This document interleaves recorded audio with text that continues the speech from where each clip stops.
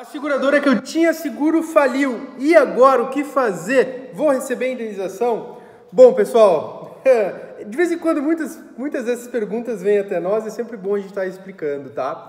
Houve um tempo, um tempo atrás, 15, 20 anos atrás, que sim aconteceram casos de algumas seguradoras pontuais virem à falência, tá?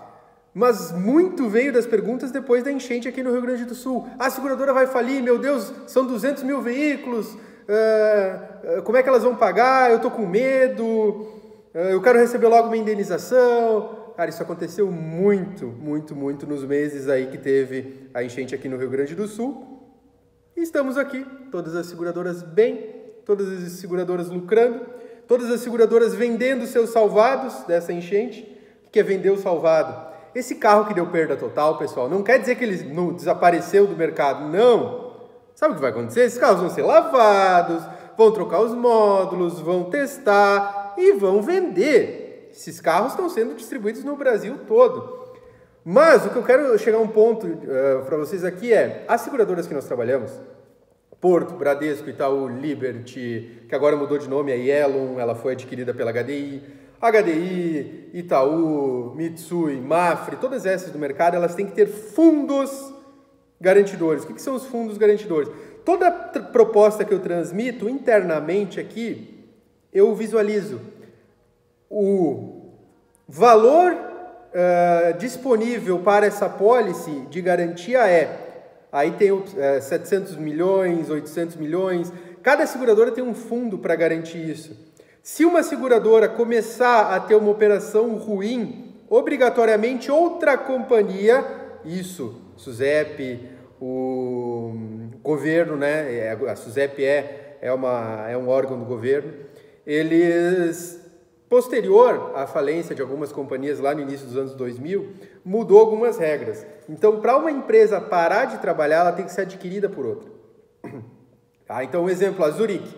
Ah, a Zurich está com muitos sinistros, não está vendendo, está uh, com resultados negativos e vai fechar. Não, ela nunca vai fechar. Só estou dando um exemplo. Outra companhia vai e compra a carteira e ad vem adquirir os ativos e os passivos dessa empresa. Tá? Então não há possibilidade, não teve a possibilidade nessa época aqui das enchentes aqui do Rio Grande do Sul disso acontecer. Houve sim uma variação de caixa. O que é a variação de caixa? As seguradoras foram lá e indenizaram todo mundo, 200 mil veículos. Tá? Desses 200 mil, sabemos que Brasil não são todos que têm seguro, 30%, mas digamos que 100 mil veículos tiveram sinistro. Tá? Nós tivemos muitos aqui no escritório. A seguradora foi lá e bancou. Nossa, olha todo o prejuízo da seguradora. Não, pessoal, não.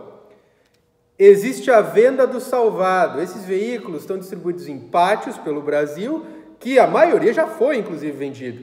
Lava, higieniza, os que estão funcionando já vende, os que não estão funcionando troca módulo ou vende como está. Tá? Então isso está acontecendo muito, aconteceu no mercado e está sendo distribuído no Brasil esses veículos. Ah, mas eu acho injusto que sejam vendidos os veículos alagados. Não acho injusto, é uma empresa privada e ela está diminuindo os prejuízos dela. Tá? Todos os veículos que forem vendidos pelas companhias vêm como observação: veículo com passagem por leilão. Isso é muito importante. Quem foi lá e comprou sabe disso e tem que avisar. Se não avisar, essa pessoa é responsabilizada. Se você for comprar numa revenda, a revenda não te avisou, entre em contato com a BNP que eu vou te falar. Ó, oh, teu carro tem leilão. Eu tenho um sistema aqui que a gente pesquisa sempre.